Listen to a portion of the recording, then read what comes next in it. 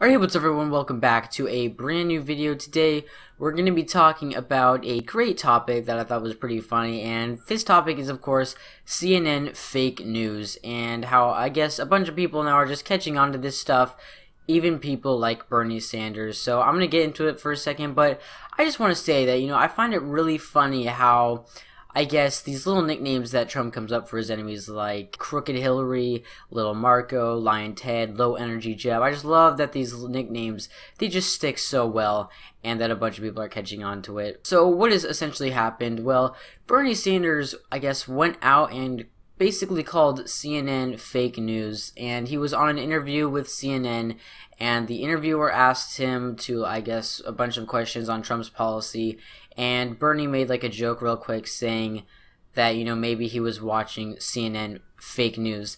And he even said it was a joke, but I guess they said it was, you know, technical difficulties, how they cut him off.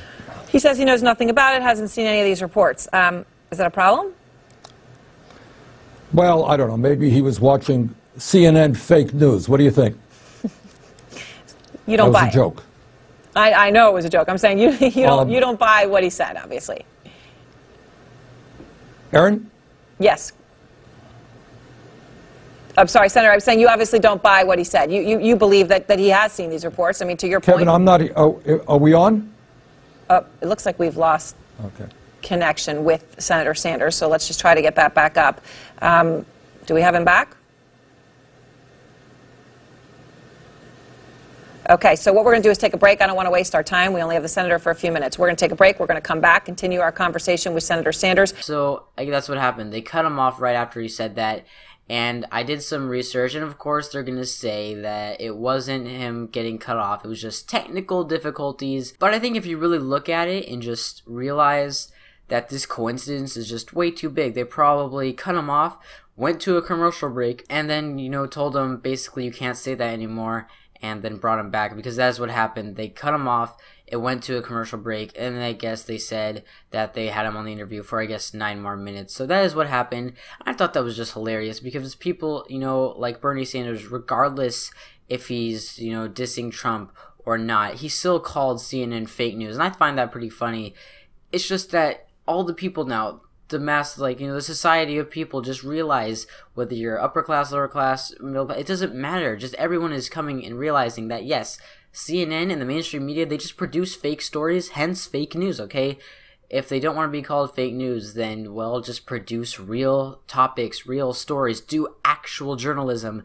That would be nice for a change. People don't call fox news fake news because they don't produce BS stories all the time, like CNN and other mainstream media outlets. And maybe if CNN just cuts the ties with, you know, the Clintons or the Democratic Party or just cuts their liberal agenda, then maybe they're going to get some reputation back. But I don't see that happening. And I'm glad it's not happening because they should pay for their mistakes. If they're just going to be little lapdogs for the Clintons and the liberals, then, well, people are going to eventually realize that they're just producing BS and they're going to lose reputation and no one's going to believe them and uh, I just I find that pretty funny. So yes, of course they're gonna say it was technical difficulties, and all the outlets are gonna say this was false.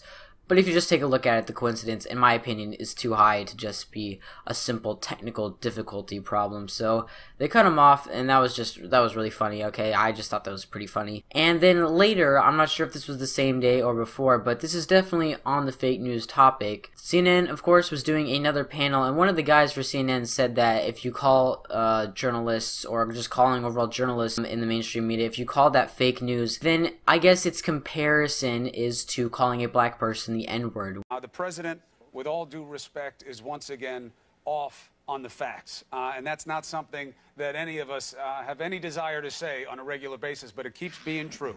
Uh, fake news is the worst thing that you can call a journalist. Uh, it's like an ethnic disparagement. Uh, you know, we all have these ugly words for people. That's the one for journalists. And David? this is a distraction. The only thing that's bothersome about it is that I see being called fake news as the equivalent of the N word for journalists. which is just I, I can't believe it. Like it's just really it's no it's no comparison. Okay, if you actually mean that when you call a black person that, that's kind of fucked up. But if you call someone fake news that they're a journalist, guess what? They're calling you fake news either as a joke or because you're producing fake news. So people like these journalists at CNN don't want to be called fake news. They just produce real stories. And I'm not really surprised though. I'm pretty sure you guys shouldn't be surprised either that of course since they're super liberals, they're gonna play the victim card and you know woe is me. They're gonna start crying and act all butthurt that you know they've done nothing wrong. So I don't buy it. These guys are just hilarious. Um, their world is just getting destroyed because people are now catching on to the fact that yes, they produce fake stories. I remember the most recent one in my head. I even made a video on it. Was how they produced like this fake story of you know Trump involved in some golden shower sex scandal, which is just completely debunked by now, and it has no merit. It had no merit. I don't know even know why they produced a story on it, and it's just yeah, I, I can't believe it. So they've had countless times to prove that they're not fake news, but I guess, you know, since Trump's president, you know, what are they going to do? So, yeah, that is basically what's been going on. Everyone is catching on that they're fake news, and that is just pretty nice, okay? I'm glad that everyone is catching on because I don't want the people to just be brainwashed by this liberal agenda that they have. So that's what's been going on. Not a huge story, but just kind of a funny one.